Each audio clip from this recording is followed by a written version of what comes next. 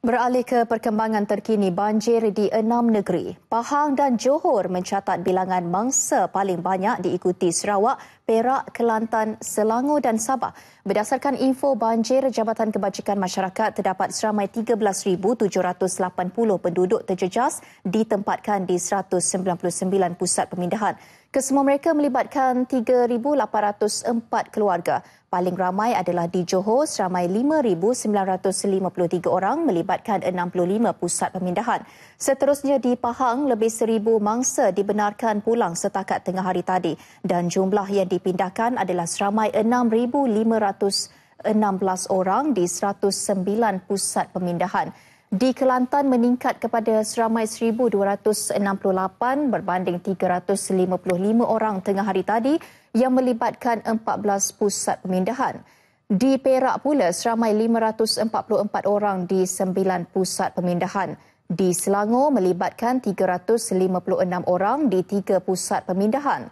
Di Sabah melibatkan 42 orang di satu pusat pemindahan.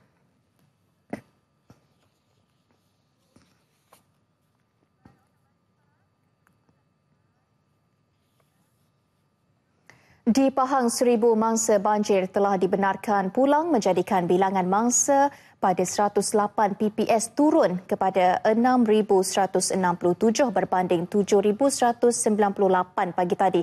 Lipis merekodkan bilangan mangsa tertinggi iaitu 2,094 orang diikuti Jerantut 1,140, Temerloh 1,113, Rompin 1,003, Maran 247, Kuantan 156, Pekan 143, Raup 137 dan Bera 134.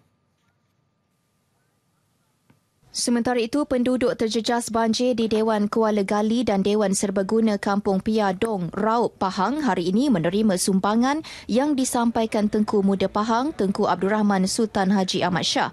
Baginda yang diiringi Adun Dong, Datuk Seri Syahiruddin Abdul Muin menasihatkan penduduk agar bersabar menghadapi dugaan serta sentiasa menjaga keselamatan anak-anak ketika banjir serta mengucapkan ribuan terima kasih kepada pihak berkuasa yang bertungkus lumus memastikan keselamatan dan keselesaan penduduk terjejas.